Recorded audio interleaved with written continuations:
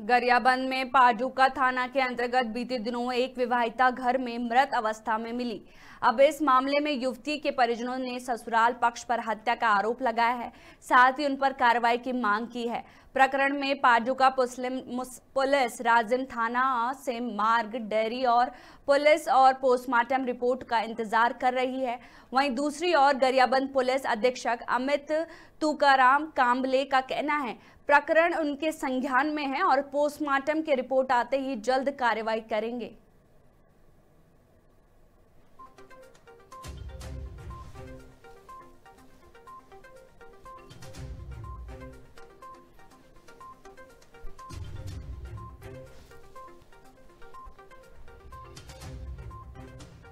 हमने मामले में जो है मर्ग राजिम थाना में दर्ज कर लिया है, जो पांडुका थाना में ट्रांसफ़र होगा।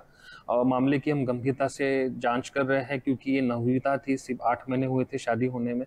तो हम पूरे जो प्रोसीजर रहता है, वो फॉलो कर रहे हैं और हम मामले के तहत तक पहुँचेंगे।